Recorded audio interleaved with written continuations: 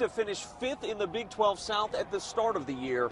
OSU finishes the year the winningest team in program history. It's awesome, man. To be in the record books and be the team, you know, they got 11 wins. You, you can't explain it. It's great. I'm kind of sitting there pinching myself because you know, watching my guys celebrate. I'm just you know happy for the seniors. They uh, they started this whole deal, and uh, you know this, uh, this feeling's unreal. I couldn't be more proud for the seniors, for the football team, and for Oklahoma State.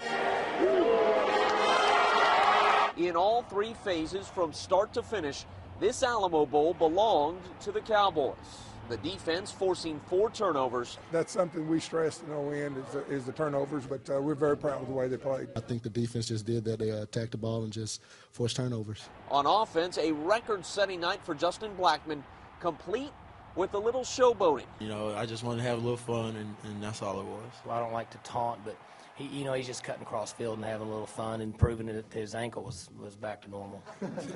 the question now, where will Blackmon be having fun next year?